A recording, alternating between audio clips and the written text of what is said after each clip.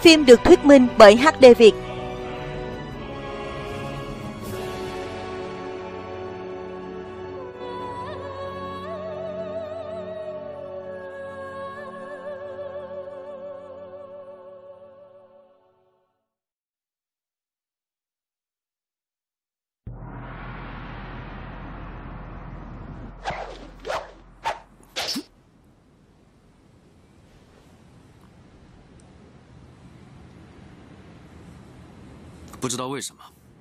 Không biết tại sao Khi dùng quen một binh khí Thì dù cái khác có tốt thế nào Cũng không thích nữa.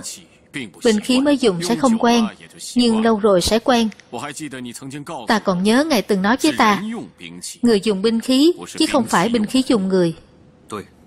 Đúng. Ta không tin Ai không có sẽ không sống được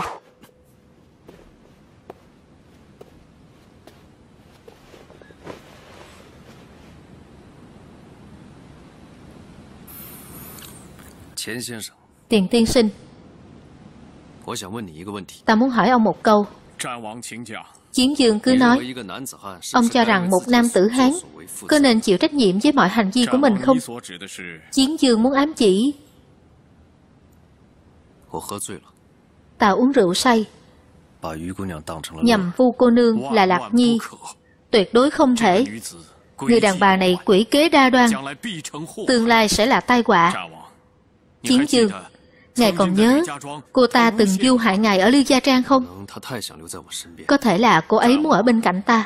Chiến dương Nếu là người khác nạp thiếp Ta chắc chắn sẽ không can thiệp. Nhưng ngài thì khác. Vợ của ngài Tương lai sẽ là mẫu nghi thiên hạ Sẽ là dương hậu. Nếu không chọn người cẩn thận Cưới về một đắc kỷ Có thể làm dao động gốc nước. Vậy thì không được Chiến dương. Ta không biết hôm nay Chiến dương có bao giờ hối hận. Quyết định của ngài 10 năm trước. 10 năm con người có được mấy lần chứ? Chiến dương Xin ngài hãy nên suy nghĩ kỹ. Ta biết rồi. Ta sẽ suy nghĩ thêm. Ông lui đi. Dạ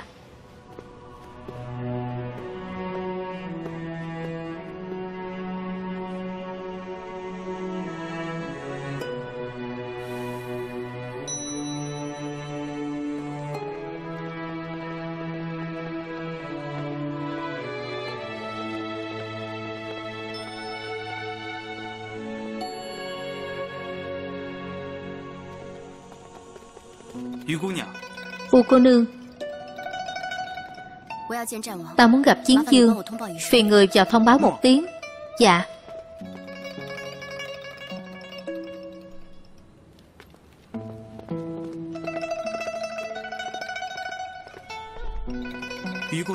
Vu cô nương Chiến dương nói Ngài đang bàn chuyện quan trọng với tiền lão tiên sinh. Không thể gặp cô nương được. Cảm ơn công công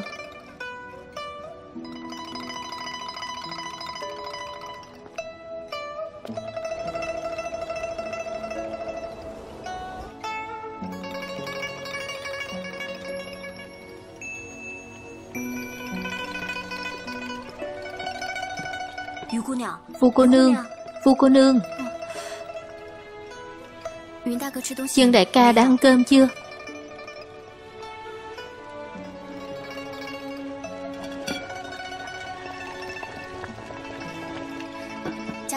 Cho thêm nguyên liệu vào hầm đi.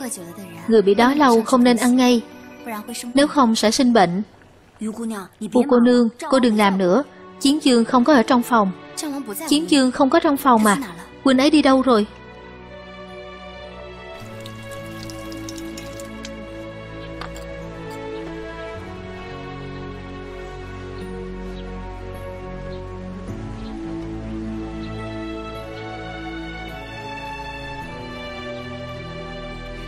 Dương đại ca.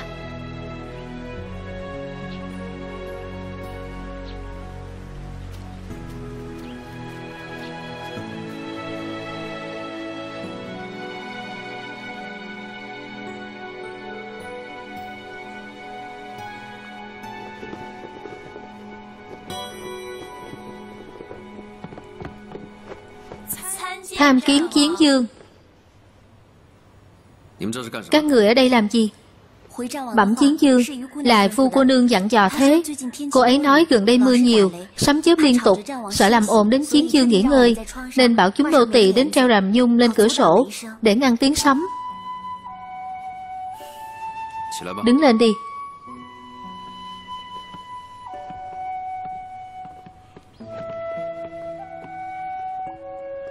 Chiến dương Phu cô nương nói, Chiến dương thích uống loại canh này. Nhưng nấu sớm thì sợ nguội mất, Nên bảo nô tỳ dùng nước nóng giữ ấm, Cứ mỗi nửa canh giờ lại thay nước một lần. Cách này rất có tác dụng. Vậy sao? Cô ấy còn nói gì nữa?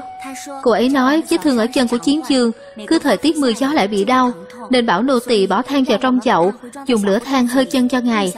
Chiến dương không thích áo giáp có bụi nên phải lau áo giáp của chiến dương mỗi ngày một lần. Còn nữa, sách và tấu chương phải luôn ngăn nắp. Nếu không, chiến dương sẽ không tìm thấy.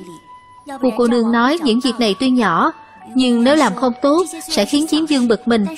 Cô ấy không muốn sau khi cô ấy đi, chiến dương sẽ không quen ạ. À. đi à. Bản dương không bảo cô ấy đi mà. Chiến dương không biết sao. Sáng sớm này cô ấy đã rời khỏi đây rồi.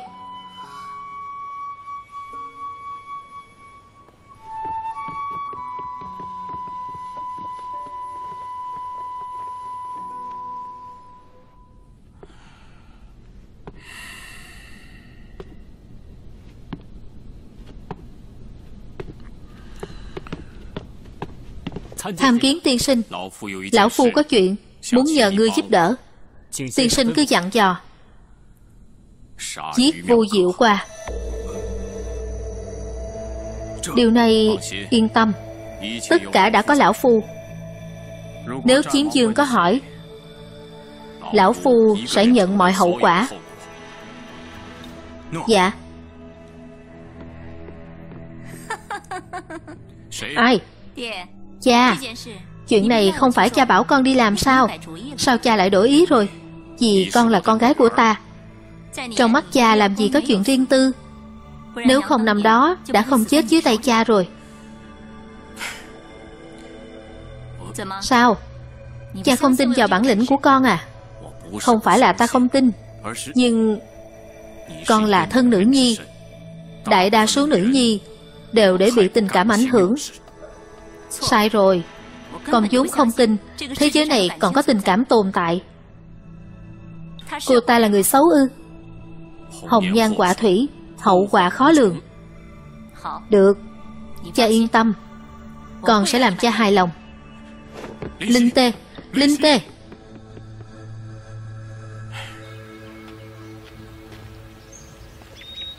Dân đại ca, Cả đời này mụ chỉ muốn tìm cho mình gia đình nhưng muội hao tâm khổ tứ mới phát hiện. Thì ra, Muốn tìm một gia đình Không phải là chuyện dễ dàng. Muội không muốn huynh lúc nào cũng trốn tránh muội càng không muốn trở thành gánh nặng của huynh. Nên muội đi đây. Hãy để cả đời này muội luôn nhớ nhung huynh như thế. Có lẽ cả đời này muội sẽ không có gia đình riêng của mình.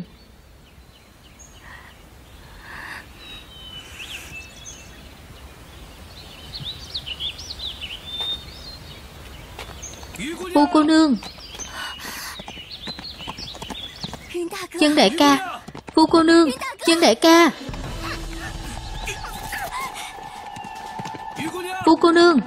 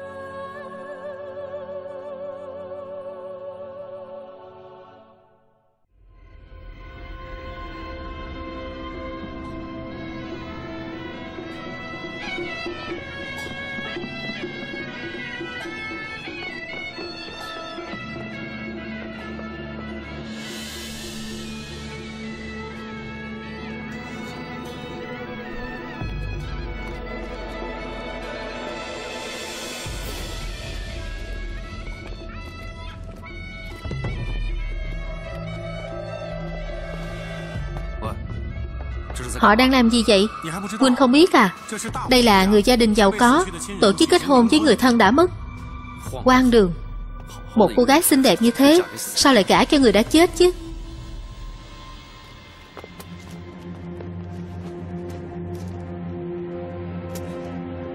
Chịu qua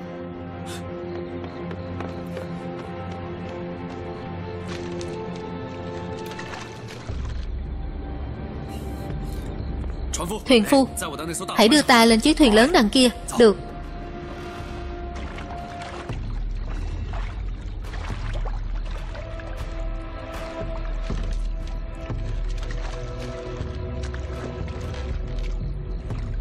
Nhanh lên, nhanh lên. Lão già à Thuyền tôi nhỏ mà. Nhanh lên, nhanh lên đi. Cô ta nhảy xuống rồi.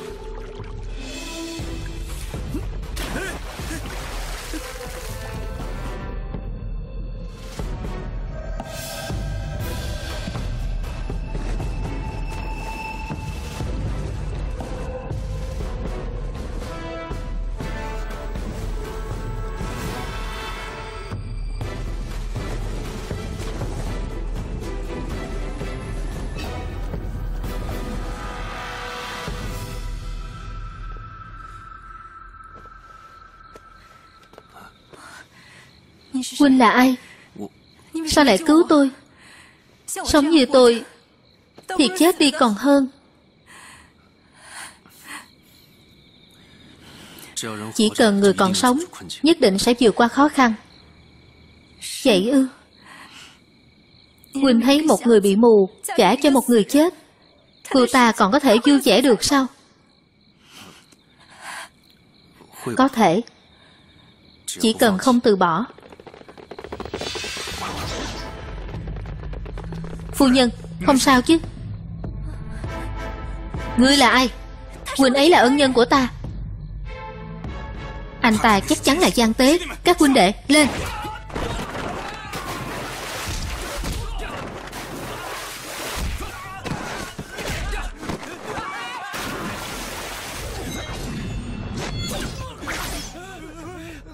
Chân đại ca, Chân đại ca, Cứu muội. Nghe đây.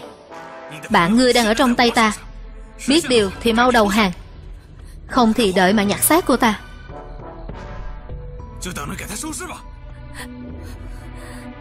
Chân đại ca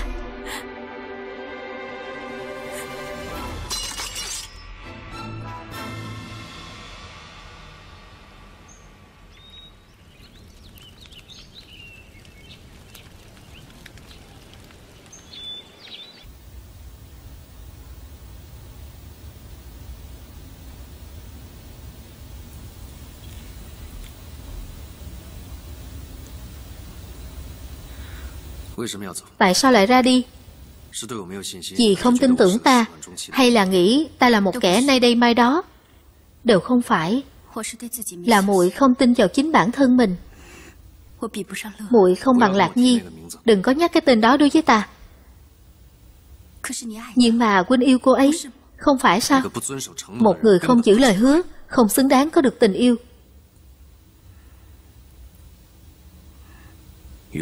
Phù cô nương Hãy lấy ta đi. Thật. Thật sao chứ? Không phải là Không phải là muội đang nằm mơ đó chứ. Chỉ cần muội đồng ý Thì không phải là nằm mơ rồi. Vậy huynh có yêu muội không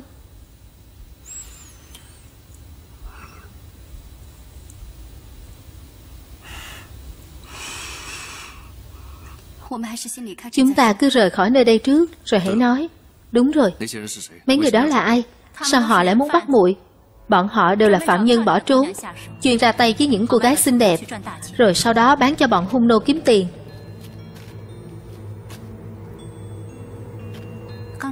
Chị đại hiệp này vừa nãy cứu ta còn ở đây không? Cô nương Cô tới để cứu chúng ta à? Không Ta đến để thương lượng với huynh Thương lượng gì? Cô mù thật hay là giả giờ mù vậy? Sao trên tay cô lại cầm theo nến? Dương đại ca, đừng tin cô ta. Ta mang theo nến, Không phải để nhìn các người, Mà để cho các người nhìn thấy ta. Rốt cuộc cô muốn nói gì?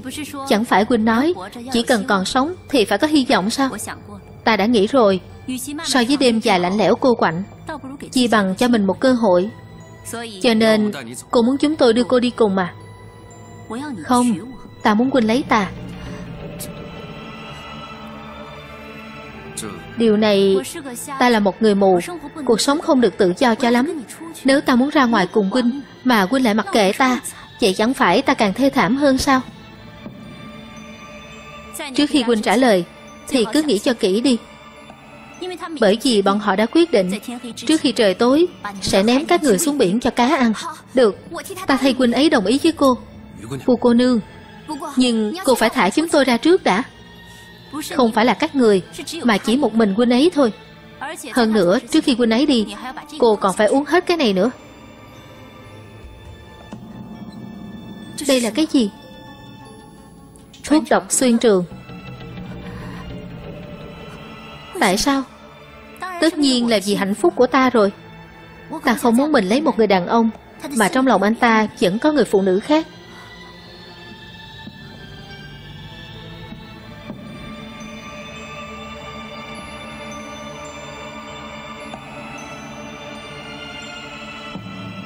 người mau quyết định đi. Không còn nhiều thời gian đâu.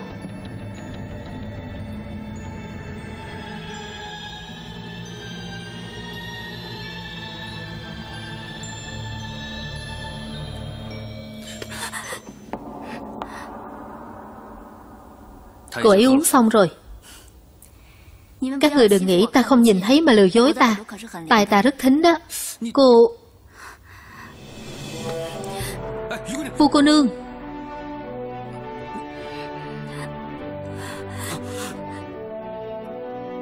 Dương đại ca. Sao muội lại làm như vậy? Tuy rằng muội không phải là một cô gái tốt, Nhưng tình yêu muội dành cho huynh là thật lòng.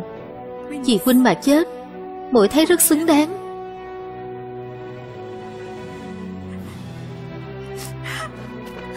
Chân đại ca.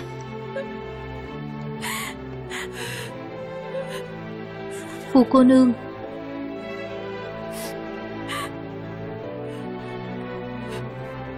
Thôi đi. Đó không phải là thuốc độc đâu, Chỉ là chút rượu mạnh thôi. Các người mau đi theo ta, Nếu không thì thực sự không còn thời gian đâu.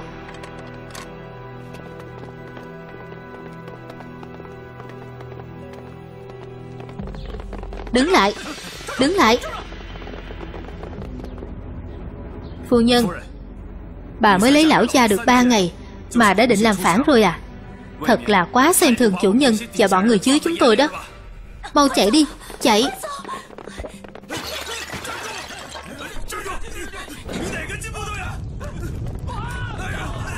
Đứng lại Đứng lại, Định chạy à? Không xong rồi. Người đâu? Cháy rồi, Mau tới dập lửa. Đi thôi dù cô nương, Đi thôi. Cháu nói sao? Hai người không giết được người đàn bà đó à? Bẩm đại nhân, Lẽ ra tiểu nhân đã bắt được cô ta rồi. Nhưng đại tiểu thư, cô ấy Đúng vậy. Người là cho con thả. Cha, Nếu cha muốn trách Thì trách mình con là được rồi. Con,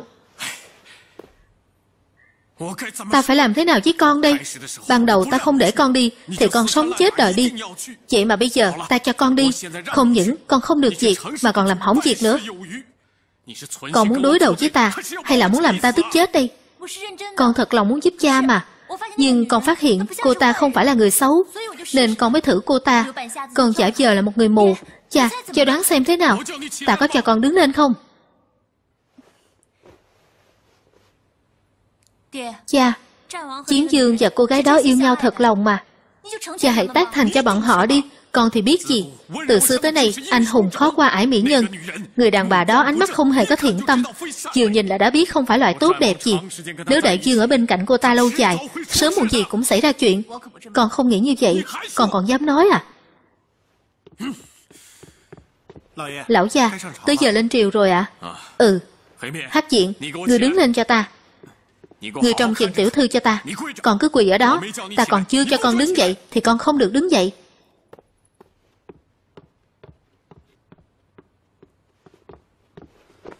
Đại tiểu thư, Cô vì hai người không đâu mà phải chịu phạt. Liệu có đáng không? Đáng. Nếu có một người đàn ông đối xử với ta như chiến dương đối với người con gái đó, Thì dù ta có chết cũng thấy xứng đáng. Chiến dương về chuyện đăng cơ Lão Phu đã bàn với các vị đại thần rồi. Bàn bạc rồi thì cứ quyết định đi. Không cần chuyện gì cũng phải nói. Chiến dương Bây giờ người là chủ thiên hạ. Không nên xưng là ta Người nên xưng là bản dương.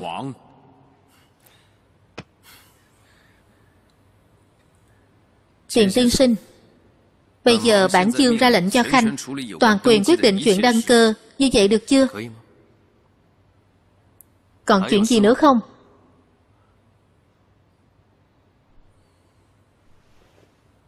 Bãi triều.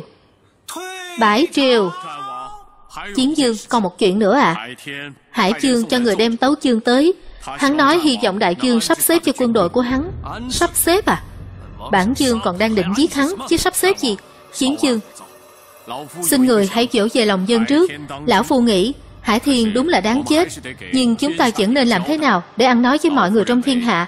Lão Phu cho rằng, cứ đáp ứng yêu cầu của hắn trước, Sau đó khi hắn vào thành rồi, Chúng ta mới nghĩ cách đối phó với hắn sao? Không biết Chiến Dương nghĩ như thế nào ạ? À? Được. Vậy cứ để cho hắn vào thành. Đợi sau đại hôn của bản Dương Rồi sẽ giết hắn.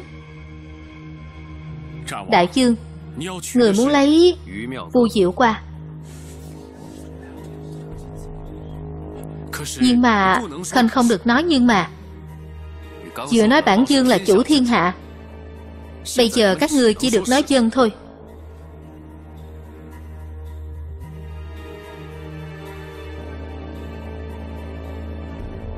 Sao không ai nói gì vậy?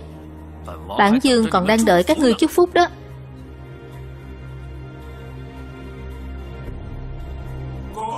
Chúc mừng chiến dương.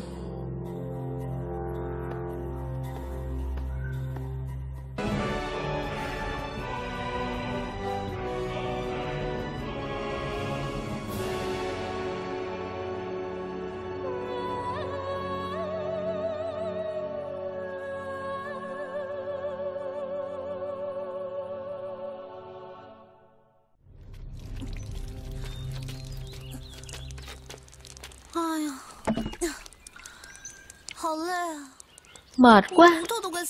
Xương cốt sắp gãy hết cả rồi. Lạc Nhi Tỷ mau nhìn xem. Tay mũi mấy ngày hôm nay sắp nhũng ra mất rồi. Việc này phải làm tới bao giờ mới xong đây? Lúc đầu là mũi nói muốn giúp mà. Có ai ép đâu? Ai mà biết được sẽ mệt thế này chứ? Hỷ băng cô nương. Vất giả rồi không vất giả không sao ạ. À? Khấu công giúp chúng tôi đánh thiên hạ mới là vất giả. Chúng tôi làm mấy việc giặt này có đáng gì đâu. Chẳng phải muội vừa nói, Chân tay muội sắp nhũng ra rồi à? Đúng vậy, Nhưng muội vẫn sẽ tiếp tục giặt lại quần áo. Vì nước ở đây không sạch lắm, Nên giặt nhiều lần thì tốt hơn. Khấu công, ngài nói xem có đúng không? Mọi người vất giả rồi. Đại ca. Đại ca, Có tin tức về bản tấu sinh phong rồi ạ à? Dân cuồng nói thế nào? Dân cuồng nói, tất cả cứ đợi đại hôn của hắn tiến hành xong rồi tính cái gì? Dân cuồng lấy vợ sao? Lạc Nhi. Lạc Nhi. Nàng đừng đau lòng. Tin tức này vẫn chưa được xác nhận.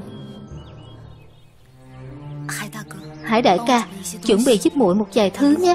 Đốt lò cháy mạnh lên một chút. Chúng ta còn phải rèn sắt nữa. Ở nơi quan du thế này biết đi đâu mà tìm bây giờ. Để ta chuẩn bị. Muội hơi mệt. Muội đi nghỉ một lát. Cứ mặc kệ muội Lạc Nhi.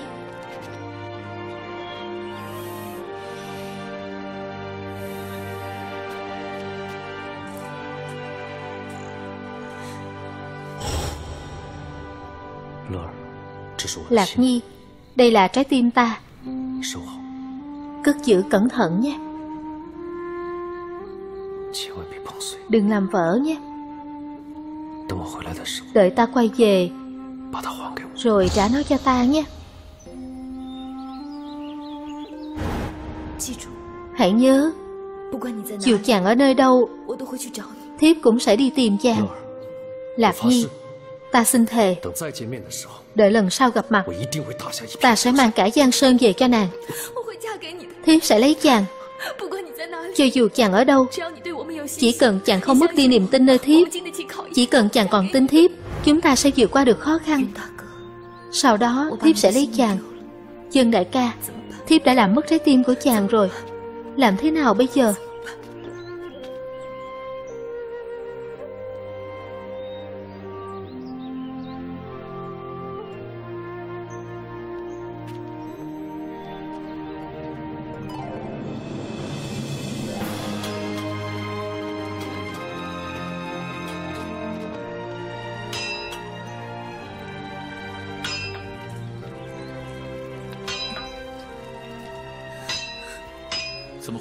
Sao tự nhiên nàng lại muốn rèn sắt thế?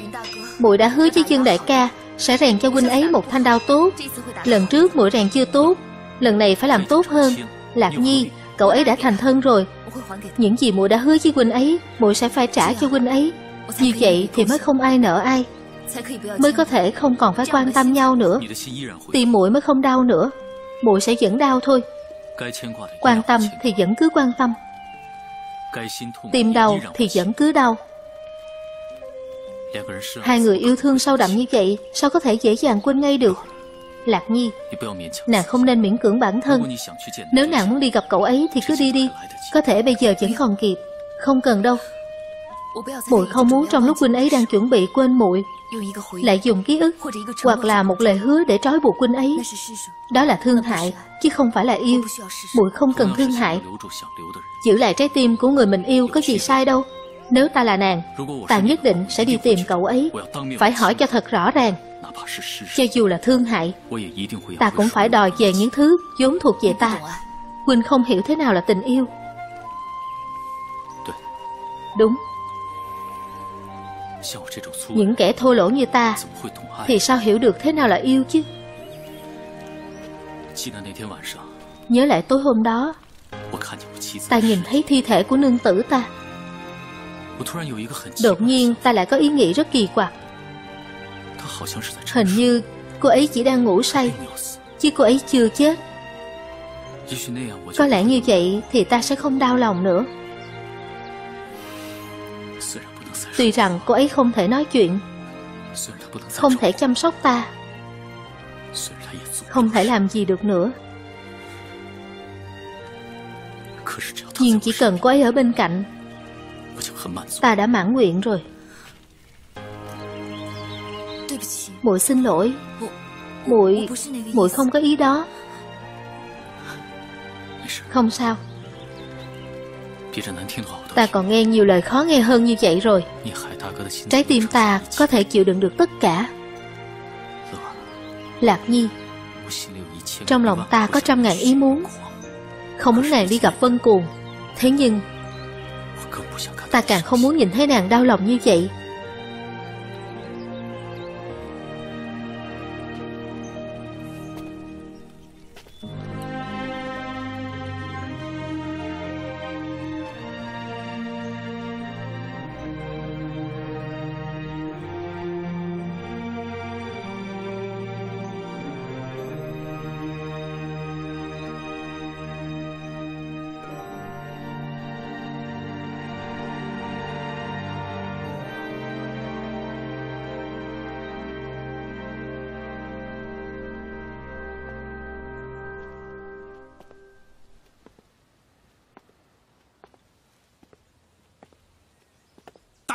Điều dân to gan Dám vào chốn hoàng cung làm loạn. Đại ca, phiền huynh Ta muốn gặp chiến dương Gặp chiến dương Cô à Thôi đi đi, tránh sang bên kia đi. Nếu cô mà cũng gặp được chiến dương Thì ta chắc gặp được Ngọc Hoàng Đại Đế đó. Nhưng tôi thực sự có gì gấp. Phiền huynh thông báo giúp. Sao ngươi lại mặc giày thế kia? Người đâu, lôi cô ta ra. Đợi đã. Có chuyện gì thế? Thưa đại ca Thanh đao này là chiến dương đã hạ lệnh cho tôi làm giúp ngài. Tôi muốn gặp ngài ấy để đích thân giao cho ngài. Cô nương à, đây là cấm cung. Không phải ai cũng vào được đâu. Tôi chỉ có thể giúp cô nộp thanh đao này cho đại dương thôi. Nếu như vậy mà không được Thì cũng không có cách nào. Như vậy cũng được. Phiền huynh rồi. Phiền huynh nói với ngài ấy Nếu muốn gặp người rèn đao Tôi sẽ đợi ở ngoài thành 10 dặm. Tôi sẽ đợi ở đó không gặp không về. Được.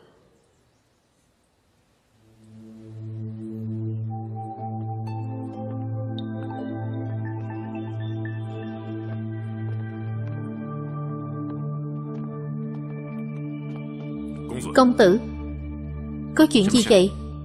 Vừa nãy có một cô nương nói rằng Cô ấy muốn tặng thanh đao này cho Đại chương.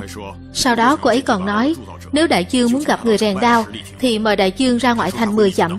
Cô ấy sẽ đợi ở đó ạ. à? Lùi xuống đi. Dạ. Tiền lão tiên sinh Thành thân là chuyện của chiến dương. Tốt hay xấu thì chỉ có chiến dương mới biết. Chúng ta hà tất phải xen vào chứ. Thân là thiên tử Thì không có việc riêng gì cả. Ngài thử nghĩ xem Có bao nhiêu giang sơn tươi đẹp Đã bị quỷ quại trong tay của nữ nhân. Lão Phu nhìn người chưa bao giờ sai. Chiến dương dễ mềm lòng. Sớm muộn rồi cũng có chuyện thôi. Điểm này Thì ai cũng nhìn thấy được mà. Nhưng chuyện thành thân của đại dương Thì sớm muộn gì cũng phải tiến hành. Chúng ta không thể nói là Ngài ấy lấy được một người con gái hiền lương thuộc đức Thì chắc chắn sẽ giữ được Giang Sơn. Bà cũng không thể nói rằng Nếu ngài ấy lấy một mỹ nữ nghiêng nước nghiêng thành Thì nhất định hồng nhan quả thủy. Tới khi có chuyện xảy ra Mấu chốt vẫn ở quần thần chúng ta Chứ không phải ở nữ nhi. Tô tiên sinh Ngài không phải là người của tiết quốc Nên Ngài có thể nói ra những câu nói mát mẻ đó nhưng việc đến nước này Lão Phu cũng không còn gì để nói nữa rồi. Tiền tiên sinh, Tô tiên sinh Chân công tử đang cầm cái gì vậy? Đây là binh khí mà đại ca ta sai người làm. Ta định mang tới cho huynh ấy. Chân công tử sao có thể thế được? Ngày đại hỷ của chiến dương sắp tới Sao có thể mang thứ vũ khí giết người này Chân lên đại dương chứ? Không tốt đâu. Vậy à? Tiền tiên sinh Công tử tuổi còn trẻ, Nên chưa hiểu chuyện. Theo ta thấy, Chi bằng đợi ngày mai, Sau khi kiếm dương bái đường xong, Hãy dâng lên ngài. Công tử thấy thế nào? Tô tiên sinh nói phải. Vậy ta sẽ để nó trong phòng mình trước, Sau khi đại ca bái đường Mới giao cho huynh ấy. Cáo từ. Lời ta nói thì không nghe.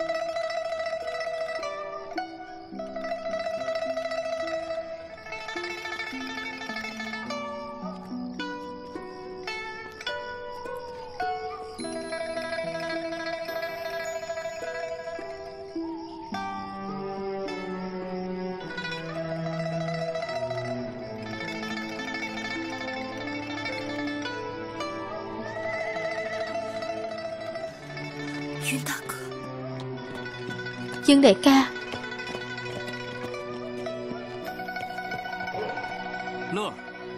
Lạc Nhi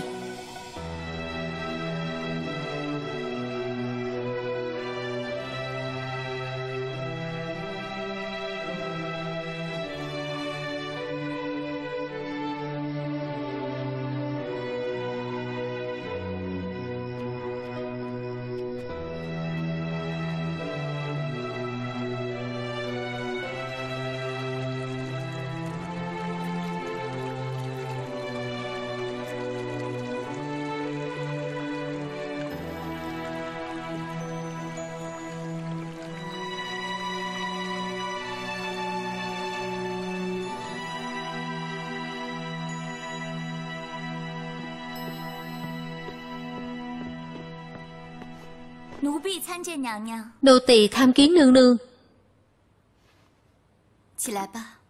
Đứng dậy đi.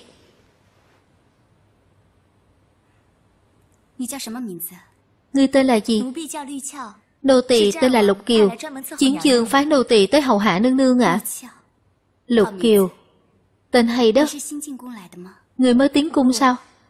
Không ạ. Nô tỳ từ tiền triều đã ở trong cung rồi ạ Chẳng trách ngươi làm việc nhanh nhẹn như vậy. Trước đây, nô tỳ hầu hạ La Phong công tử. Sau đó, công tử đăng cơ làm đại dương Nô tỳ được điều đến phòng giặt vũ. La Phong à Nương nương, Thời gian không còn sớm. Người thử xem còn thiếu thứ gì không Để nô tỳ bảo bọn họ chuẩn bị. Lát nữa, chúng ta phải xuất cung rồi. Xuất cung ư? Đây là quy tắc. Nương nương muốn nhập cung Thì phải được gả vào từ bên ngoài chứ ạ. à. Chiến dương đã sắp xếp phòng cho nương nương rồi. Chúng ta phải đi vào giờ tí. Ta biết rồi. Người cứ đi sắp xếp đi. Dạ.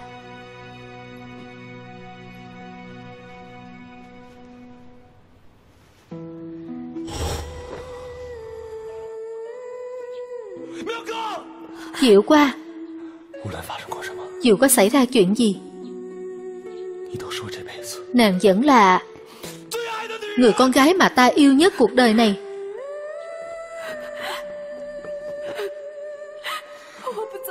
Ta không đi nữa.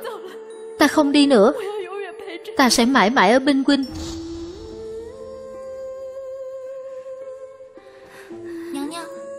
Nương nương sao vậy? Ta muốn ra ngoài một lát. Các người không được đi theo ta đâu. Nương nương Nương nương.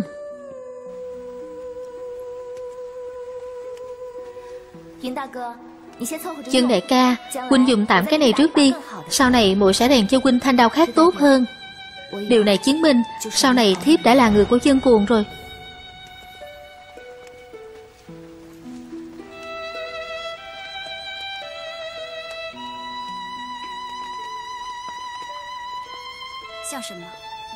Huynh cười cái gì vậy?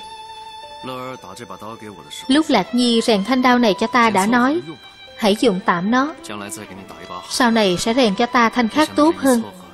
Không ngờ ta đã dùng nó mấy năm nay rồi. Hơn một nửa giang sơn Là do ta dùng thanh đao này lấy được. Thật đáng tiếc. Đau hỏng rồi. Người cũng thay đổi rồi. Những thứ gì thuộc về dân cuồng Thì phải có dấu hiệu đặc biệt chứ Lạc Nhi còn nói, Những thứ gì thuộc về dân cuồng Thì phải có dấu hiệu đặc biệt chứ. Cô ấy có. Thanh đao này cũng có. Nhưng sao cô ấy lại thay đổi? Dân đại ca, Quỳnh có thay đổi không? Ta chưa bao giờ thay đổi. Đúng vậy. Nếu không có bắt đầu Thì làm gì có thay đổi?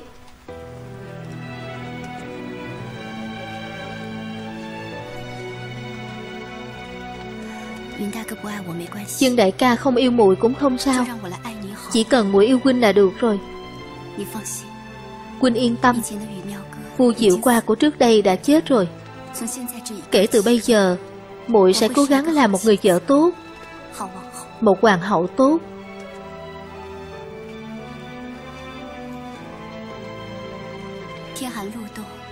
Trời đêm lạnh lắm. Huynh đi nghỉ sớm đi. Mai còn phải tiến hành lễ cưới nữa mà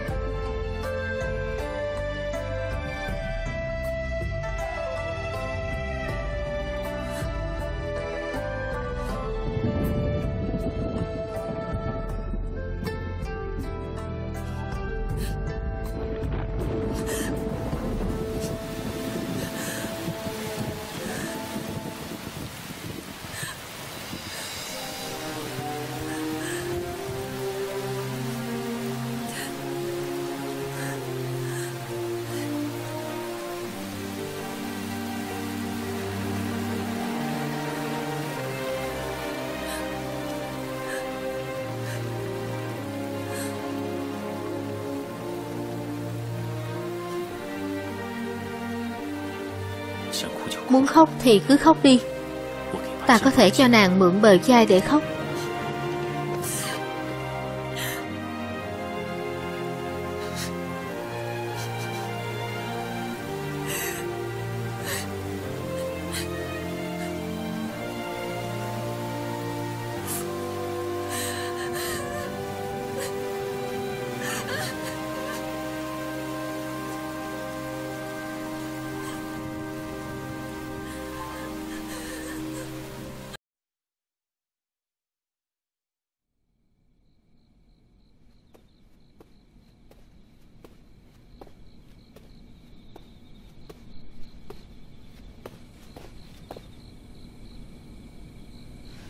Nương nương. Chiến dương đâu? Huynh ấy vẫn ở trên triều với các đại thân à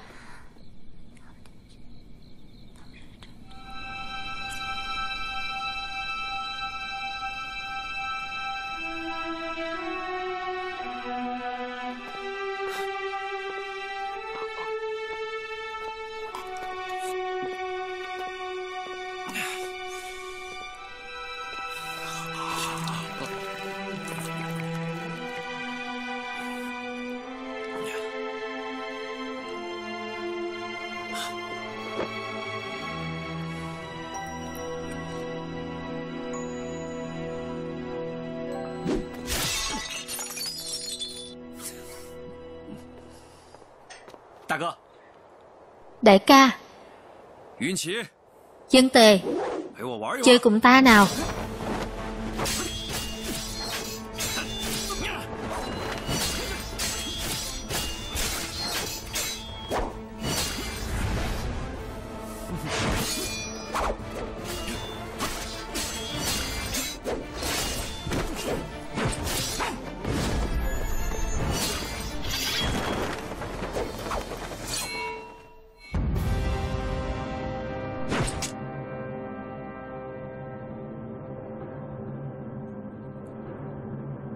Dân tề Thanh đao này ở đâu ra?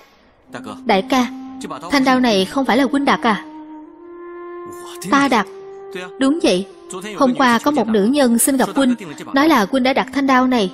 Nhưng trong cung không thể cho người vào tùy tiện Nên đề đã mang đao vào.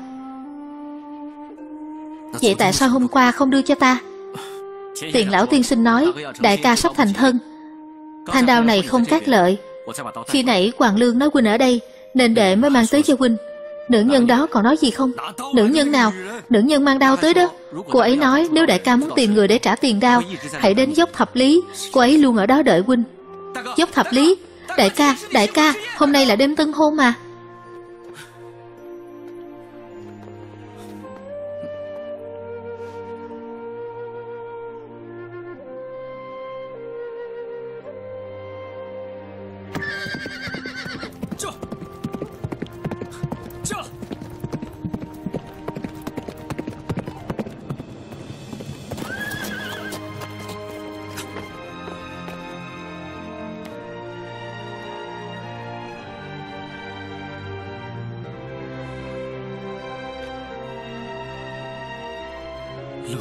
Lạc Nhi. Tại sao?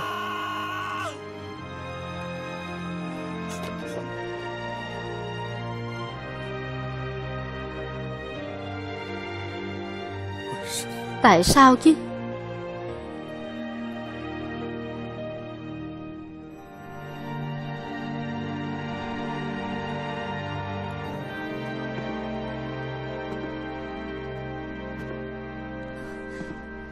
Nương nương. Chiến dương đâu rồi?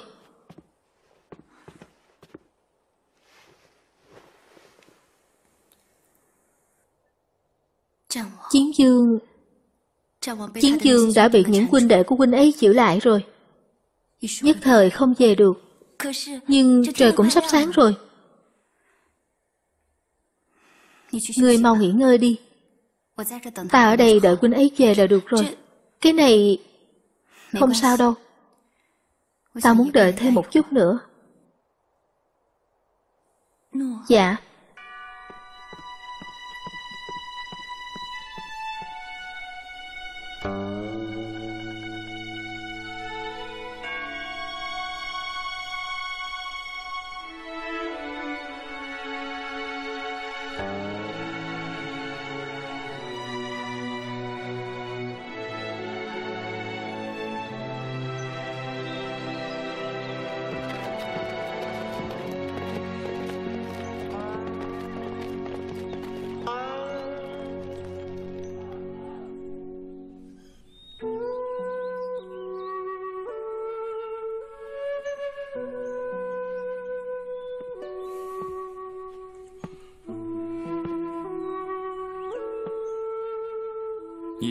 Muội đã ngồi đây cả ngày rồi.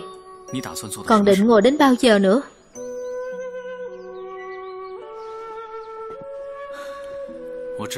Ta biết muội thấy quốc ức.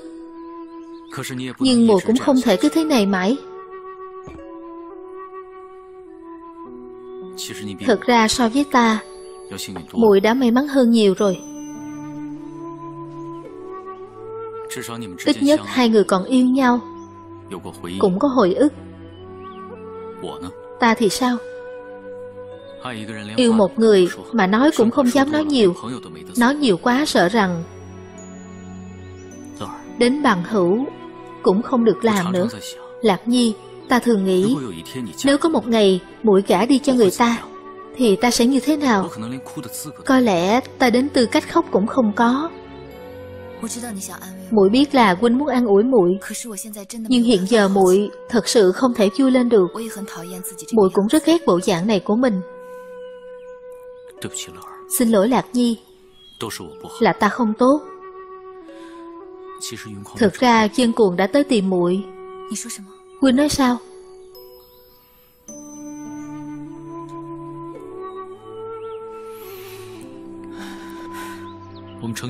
Ngày thứ hai sau khi chúng ta thành thân Muội chưa đi thì dân cuồng liền tới. Nhưng ta lại ích kỷ Không nói đường đi của muội. Lạc Nhi ta biết muội sẽ không tha thứ cho ta. Ta biết bản thân đã phạm vào tội đáng chết. Nếu như muội thật sự đau khổ như vậy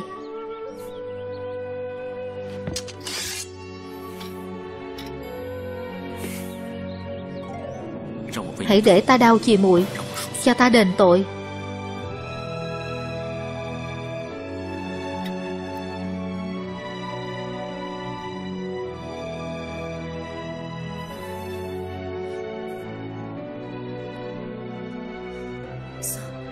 Được rồi, nếu Quỳnh ấy thật sự yêu muội, Quỳnh ấy nhất định sẽ đợi muội. Nếu Quỳnh ấy không yêu muội, sớm muộn gì cũng thay lòng thôi.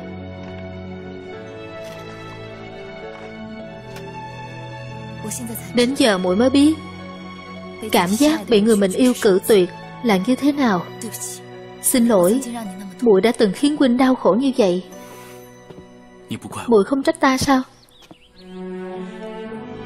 Lạc Nhi, Càng ở lâu bên muội, Ta càng muốn trả giá vì muội. Ta không hy vọng cả đời này Có thể được cùng muội sống đến đầu bạc.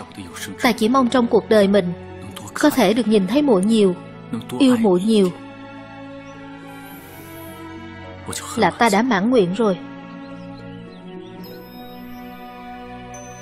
Muội cũng mệt rồi. mau nghỉ ngơi đi. Có chuyện gì hãy gọi cho ta. Đây là lều của huynh. Muội là vợ huynh. Huynh còn phải đi đâu chứ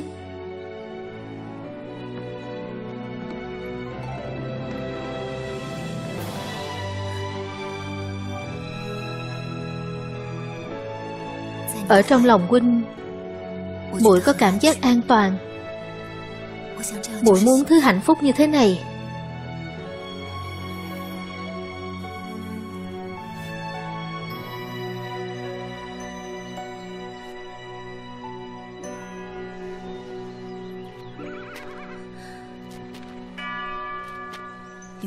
Lữ Lạc, Người phụ nữ xấu xa này, Rõ ràng tỷ nói là không thích Hải Thiên Sao tỷ lại ích kỷ như vậy? Tham lam như vậy? Tỷ đã có dân cuồng. Tại sao còn muốn tranh cướp với ta? Ta sẽ không coi tỷ là tỷ muội nữa. Ta hận tỷ. Ta hận tỷ. Này. Huynh là mèo sao? Sao đi lại không có tiếng động vậy? Ta còn chưa hỏi cô Tại sao cô đứng đây làm trò gì? Cô còn trách ta tới sao? Nói mau Cô đứng đây làm gì Ta đi dạo. Đi dạo. Cô coi ta là đồ ngốc sao? Đừng có lừa ta. Có phải cô định trộm đồ không? Ta, trộm đồ. Ta đẹp như thế này, Phức tay một cái là có bao nhiêu nam nhân mang đồ tới, Còn phải đi trộm đồ à? Cô Cô thế này mà cũng gọi là đẹp à? Quỳnh đi chết đi.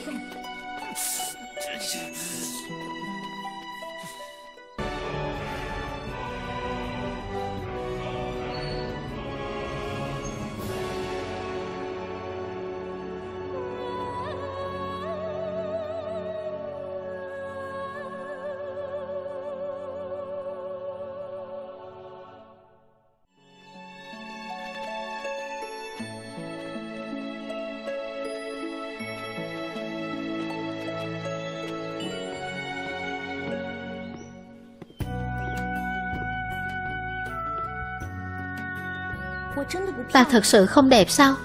Không phải chứ. Trước đây rất nhiều nam nhân đều nói ta đẹp. Đúng là có mắt mà không nhìn thấy ngọc. Đừng để bị hắn ta làm ảnh hưởng nữa.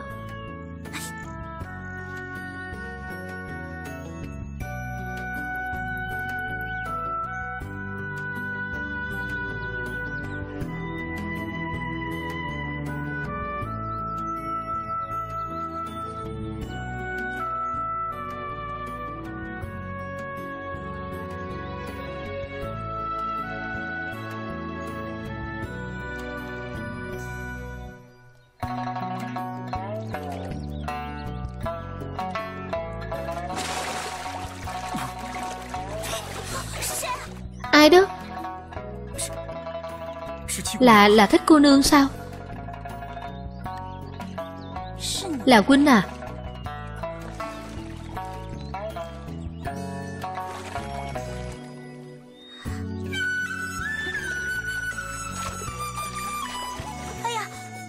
Y phục của ta bị rơi xuống nước hết rồi. Cô đừng lo, Để ta giúp cô lấy.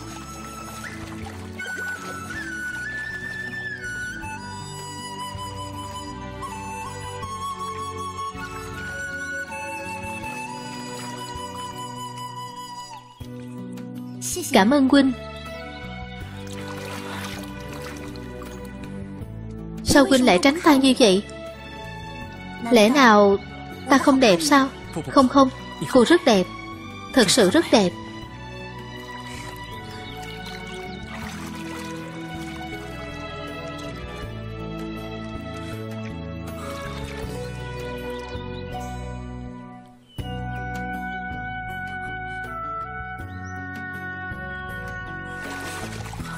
Ta đi trước đây Mai gặp. Thân hình huynh cũng không tồi đâu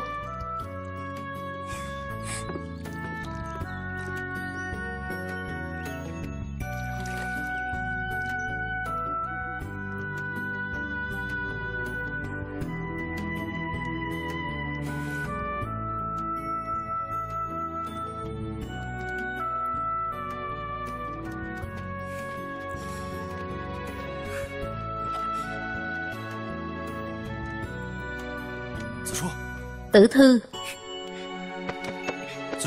Tử thư. Làm gì vậy? Sao cứ cười mãi vậy? Cây cỏ xanh tươi. Cảnh vật hữu tình. Cây gọi là y nhân. Ở bên dòng nước. Cái gì mà nhảy nhót múa ca bên này bên kia? Có phải huynh ốm rồi không để làm gì vậy? Cái gì mà để làm gì? Để vừa tới đã thấy Quỳnh cứ ngồi cười không dứt. Có phải bị điên rồi không? Là điên. Mà cũng không phải là điên. Đúng là điên thật rồi. Để giúp Quỳnh tìm đại phu. Làm gì vậy? Mau ngồi xuống đi. Bệnh điên này không chữa khỏi được đâu. Thôi, bỏ đi. Nói chứ đệ Đệ cũng không hiểu. Đi ngủ đi.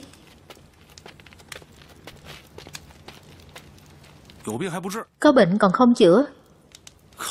Xem ra bệnh không nhẹ rồi.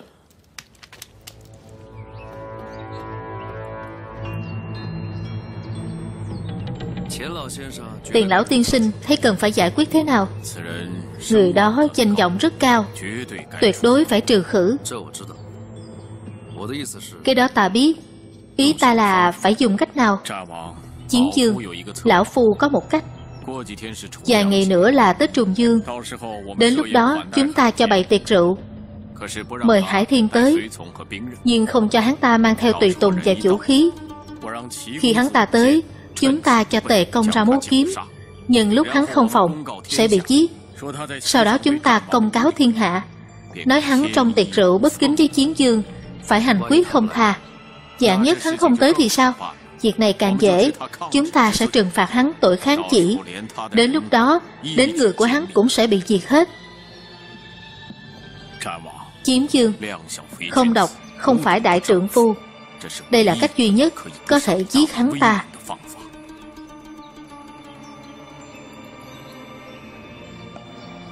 Lệnh cho Tô Triết truyền chỉ. Dạ.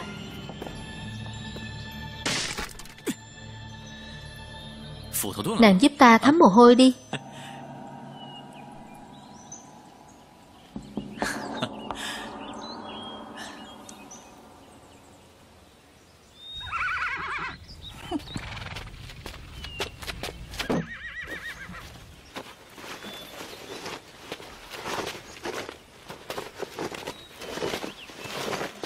Có cần ta giúp không?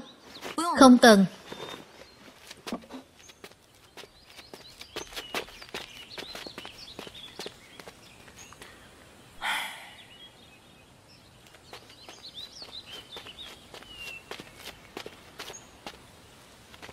Tử thư.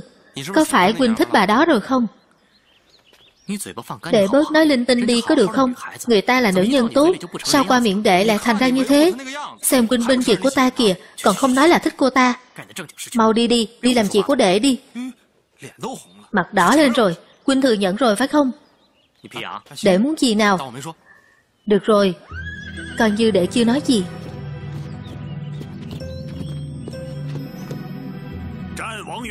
Chiến dương có chỉ. Nữ nhân mau tránh đi.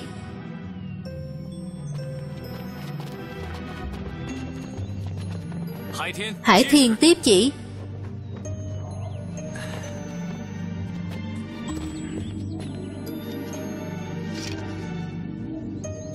Thiên hạ mới ổn định. Luận công không nhỏ. Mở tiệc rượu mừng tại chương phủ. Mời khấu công đến. Không say, không về. Tạ Chiến Dương.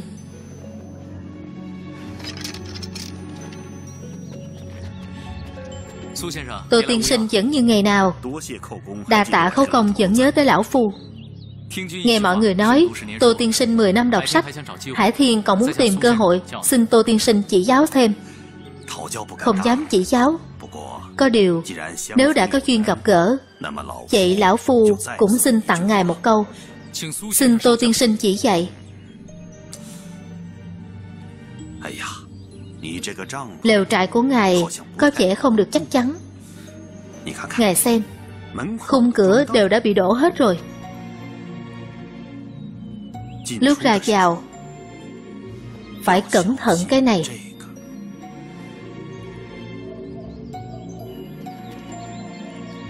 Xin Tô Tiên Sinh nói rõ hơn. Ta nói thế là đủ rồi. Những cái khác Còn phải xem ở ngài thôi.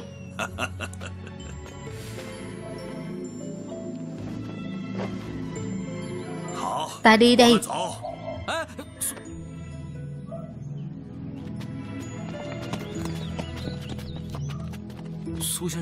Tô tiên sinh có ý gì?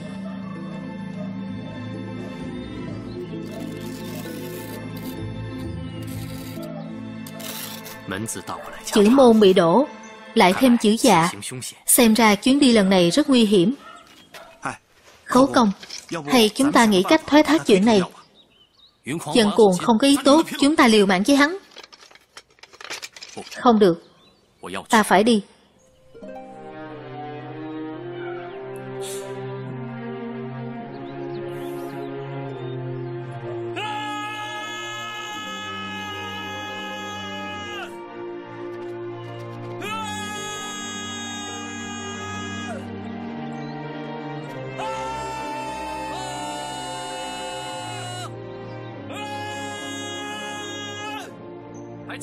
Còn nhớ không? Hồi nhỏ, Ba người chúng ta hễ có chuyện không vui, Liền đến đỉnh núi này hét lên thật lớn. Mọi phiền não đều bay đi. Mọi phiền não đều bay đi hết. Lúc đó giọng của bàn chạng là lớn nhất. Chúng ta hét ở đây, Người ở ngoài ba ngọn núi cũng có thể nghe thấy. Không trách khi chúng ta lớn, Lại là tên giết heo ở cùng đại ca thấm thoát đã mấy chục năm rồi. Tử thư ta Có thể tiếp tục cùng đại ca. Thật là một niềm vui trong đời. Bàn dạng ta, Kiếp này được ở cùng đại ca. Chết cũng không hối tiếc. Kiếp sau, Chúng ta vẫn là huynh đệ tốt.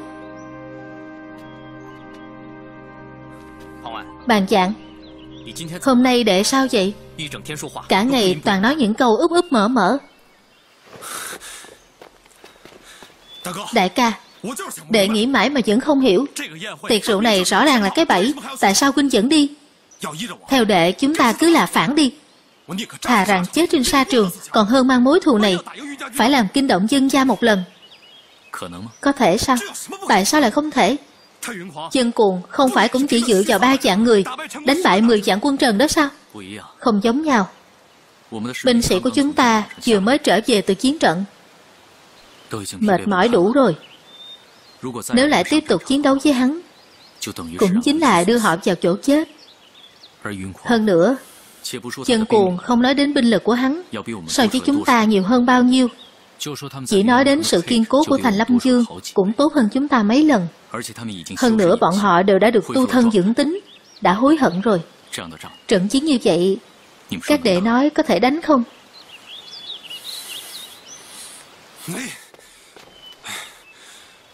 Tóm lại Đệ không muốn nhìn thấy hai người đi vào chỗ chết. Bạn dạng Đừng kích động. Khấu công đã quyết định đi. Tất cũng có cái lý của huynh ấy. Hãy nghe xem huynh ấy nói gì. Đánh Hay đi? Ta nhất định phải chọn một. Nếu đánh Toàn quân nhất định sẽ tan rã Nhưng nếu đi Dân cuồng chỉ muốn cái mạng của ta Đội quân của chúng ta Vẫn sẽ được giữ nguyên vẹn。Dù thế nào Ít nhất tính mạng của mọi người vẫn còn。Đại ca Huynh mãi vẫn nghĩ cho người khác。Huynh có nghĩ cho bản thân mình không Nếu muốn giữ mạng sống Vẫn còn một tia hy vọng. Hy vọng gì vậy?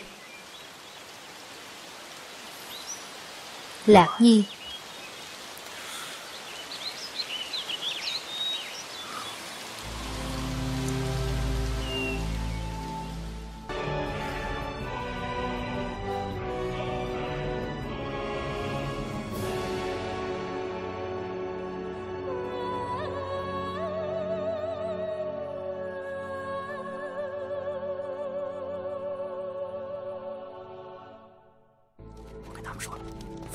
Ta nói với bọn họ rồi.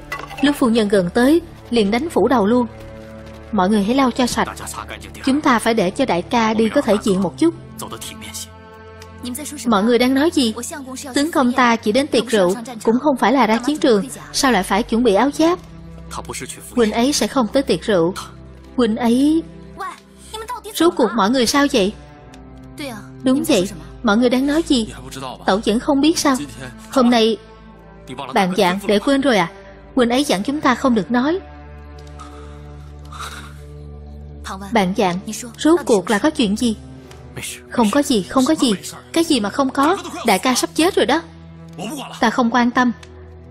Dù huynh ấy có giết ta Ta cũng phải nói. Phu nhân Chân cuồng mời đại ca tới tham gia tiệc rượu. Tiếng là để chúc mừng.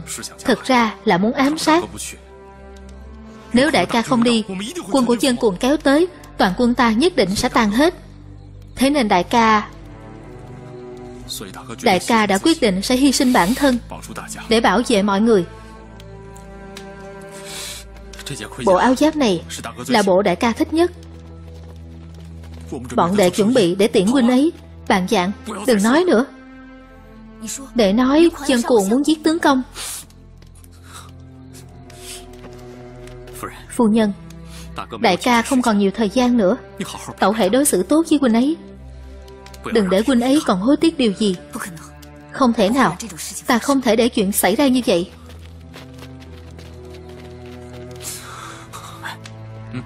Đi rồi.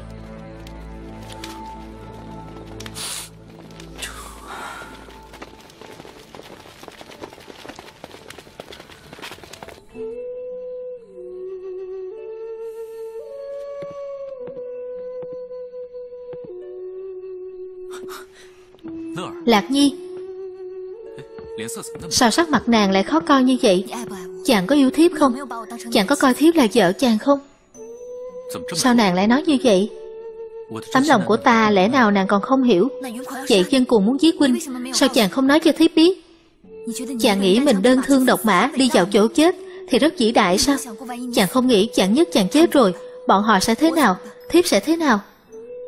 Lạc Nhi, Xin lỗi, ta quá ích kỷ. Thiếp đi với chàng Thiếp muốn hỏi chân cuồng Thiếp phải tìm huynh ấy. Hỏi huynh ấy tại sao lại muốn chia cách chúng ta? Tại sao lại muốn đoạt đi chỗ dựa cuối cùng của thiếp? Một núi không thể có hai hổ. Đây là chuyện dân cuồng sớm muộn gì cũng làm. Ta không muốn làm nàng đứng giữa phải khó nghĩ. Nếu thiếp vẫn kiên quyết thì sao? Lạc Nhi, Trên thế giới này, Chỉ có chàng tốt với thiếp.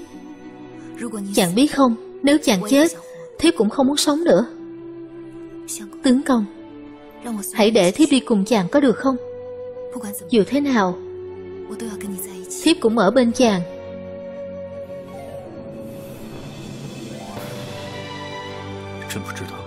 Thật không biết lấy nàng Là mang lại hạnh phúc cho nàng, Hay là khiến nàng phải chịu khổ một đời đây?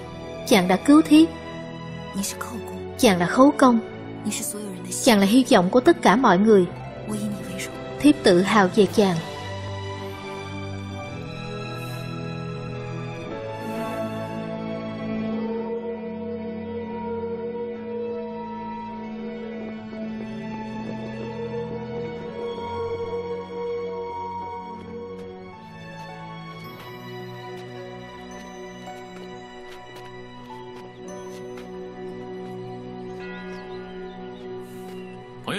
Mạnh Việt Có thuộc hạ Lúc ta không ở đây Nơi này giao cho ngươi. Dạng nhất ta không thể trở về. Các huynh đệ hãy giải tán. Đừng để hy sinh vô ích. Khấu công. Đây là mệnh lệnh. Ta không muốn trên đường xuống hoàng tuyền Lại gặp bất kỳ ai trong mọi người. Tuân mệnh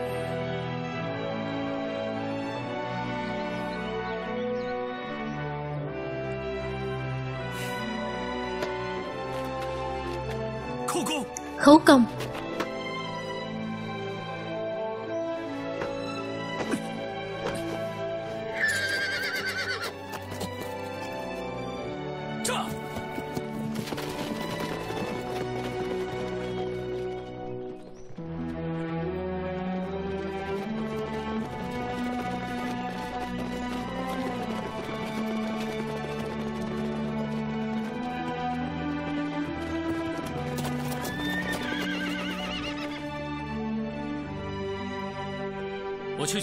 Ta đi rồi về Đợi ta nhé. Phu nhân đâu? Nàng ấy không đi nữa Ta nghĩ rồi.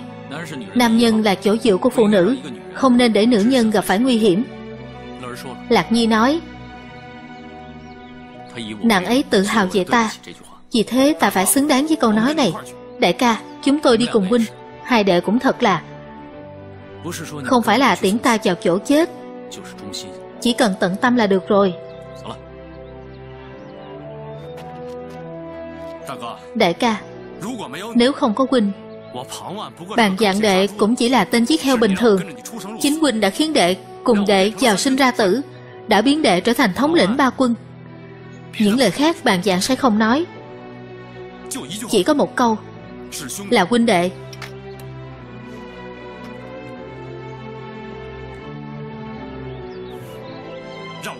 Sống chết có nhau.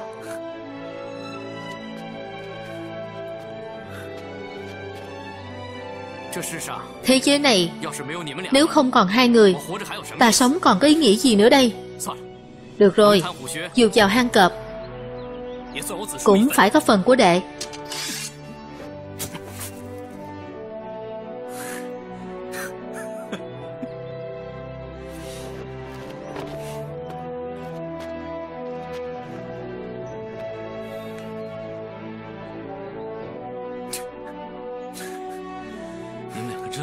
Hai đệ thật phiền đấy.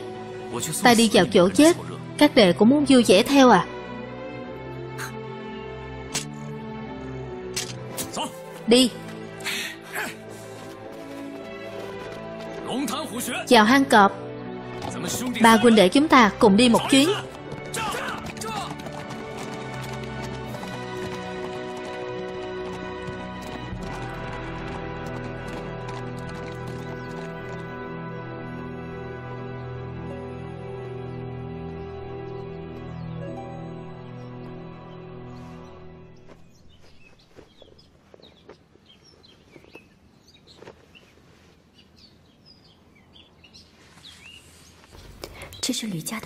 Đây là của Lữ gia mà.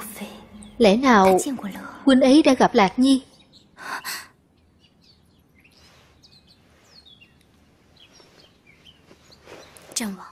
Chiến dương。Tối qua ta hơi bận Khiến nàng phải đợi rồi。Không sao Chỉ là lần sau Không nên để gương bên cạnh người khi ngủ thế này Lỡ bị thương Thiếp sẽ rất đau lòng đó.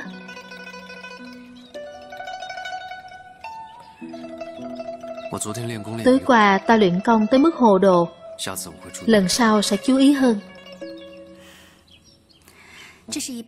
Đây quả là binh khí tốt. Thiếp biết chiến dương nhất thời không thể rời xa được.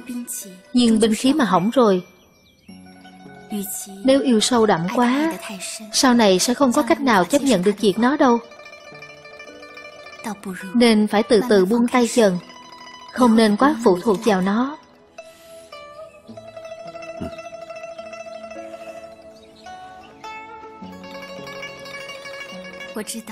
Thiếp biết Việc này cần có thời gian.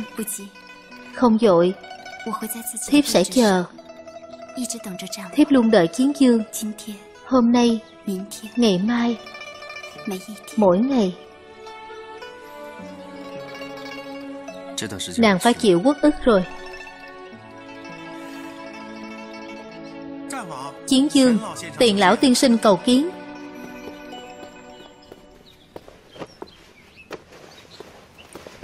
Chiến dương Nương nương Có việc gì quan trọng?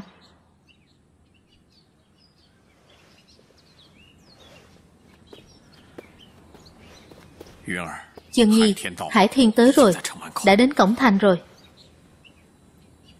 Đã chuẩn bị hết chưa? Đều đã chuẩn bị hết rồi.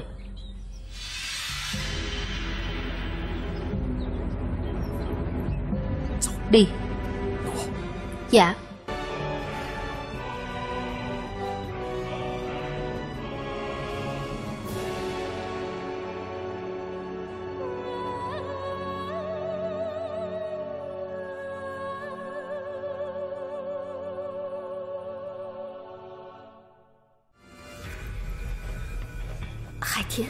Hải Thiên.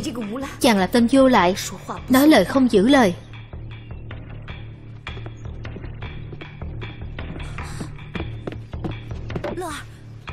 Lạc Nhi có chuyện gì? Khấu công nói muội đến giờ ngọ. Muội còn tưởng tỷ xảy ra chuyện gì? Bọn họ đi rồi à? Đã đi được mấy tiếng rồi. Cái gì? Tỷ định đi đâu?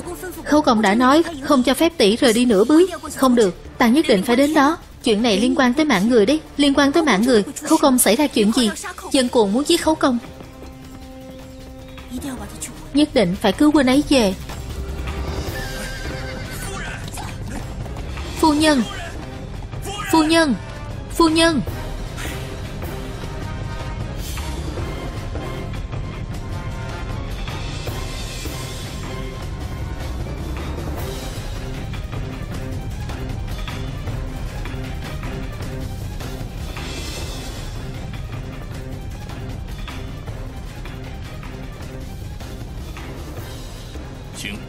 Mời. Ta họ Trương, Ý gì đây? Chiến dương chỉ mời khấu công, Vậy nên mời hai chị đứng đây đợi cho. Ta nhổ vào.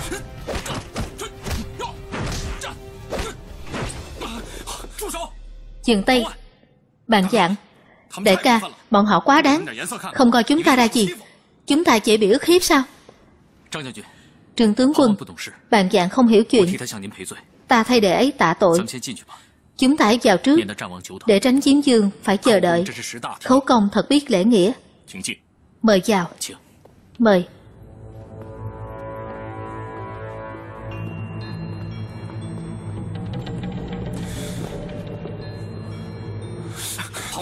Bàn giảng Để định làm gì? Hôm nay bọn chúng là dao Chúng ta chỉ là cá là thịt thôi. Để cứ kích động như vậy, Muốn đại ca phải chết sao?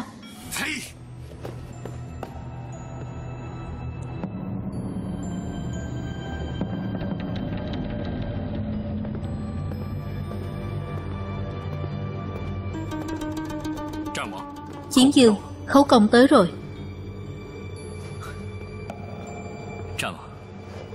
Chiến dương. Thần, xin tham kiến Chiến dương. Hải đại ca đi đường vất vả rồi. Nghe nói Hải đại ca đã thành thân. Nhưng ngay cả rượu hỷ cũng không thấy mời bản dương Đúng là có ý phụ tình huynh đệ. Chiến dương diệt công bề bộn. Một ngày phải xử lý trăm công ngàn việc. Hải thiên thành thân chỉ là chuyện nhỏ. Sao dám làm phiền chiến dương Đây không phải là lời nói thật lòng đấy chứ Ta nghĩ là Hải đại ca xem thường bản dương thì đúng hơn. Thần không dám. Thần và chiến dương, Nước sông không phạm nước giếng. Chiến dương chiếm phía Bắc, Thần chiếm phía Nam. Thần không tư lợi. Chờ chiến dương bình đô trước. Chưa từng thấy chiến dương như vậy. Hôm nay không biết vì sao Chiến dương lại có ý nghi ngờ thần. Lúc đầu ở Lữ Gia Hải đại ca nói không rõ ràng Đó chính là nhà của bố mẹ vợ。Xem ra Hải đại ca xem thường bản dương Chê bản dương xuất thân thảo dân Không xứng đáng kết thân với Lữ Gia Nhưng không đúng。Ngay cả bản thân Hải đại ca Cũng không có xuất thân tốt。Vậy thì rốt cuộc hà cớ tại sao Xuất thân bần cùng Khó có thể sống ở nơi thanh nhã Không thể xứng đáng với chiến dương được。Thật vậy sao Bản chương là nghĩ rằng Là do huynh cướp đoạt tình yêu vĩ ổ vô sĩ, Thần không dám, Khi quân còn dám, Có gì không dám chứ? Chiến chương thích đùa. Khấu công đừng coi là thật. Hôm nay chiến chương mở yến tiệc, Tiếp đại khấu công. Người đâu? Dân đồ ăn lên đây. Thì ra là huynh ấy tức giận, Không phải do ta bình đô sớm, Mà là Lạc Nhi.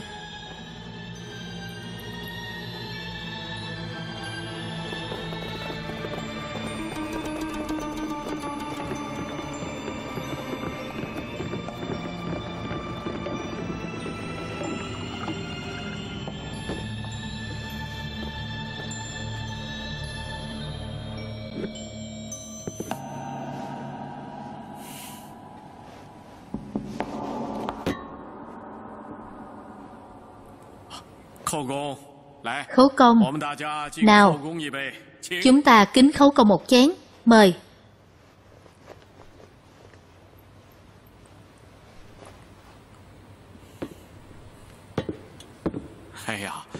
Nếu như chỉ ngồi uống rượu Thì rất vô vị. Ta nghe nói Tề công tử múa kiếm rất giỏi. Vậy thì chúng ta mời Tề công tử Biểu diễn một đoạn cho chúng tôi xem đi Tuân lệnh. Đợi đã. Người hành quân Đánh trận sao lại đi múa kiếm? Đem đao của ta lại đây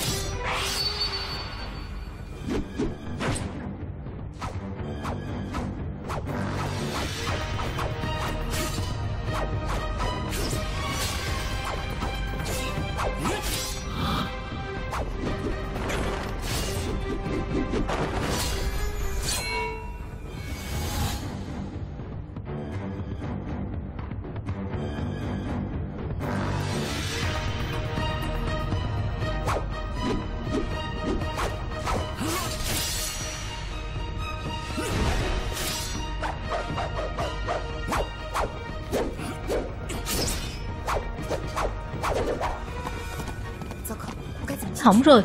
Mình nên làm gì đây? Mau ngăn lại. Đây là con ngựa điên. Mau chặn nó lại.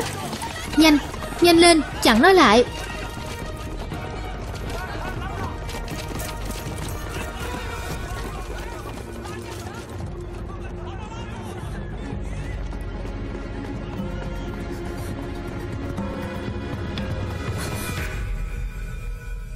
Ngươi là ai?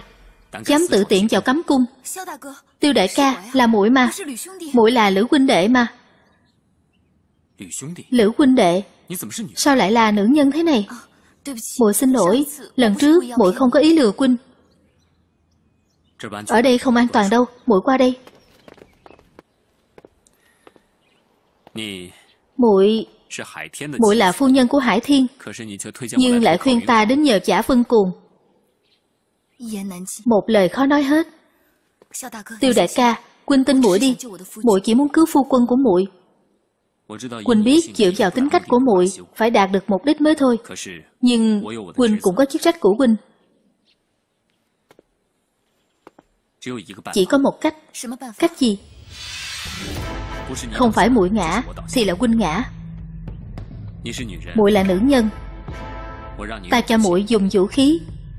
Nếu muội mà đánh ngã ta thì muội có thể vào trong. Còn nếu không thì mời muội ra khỏi đây. Thế nào?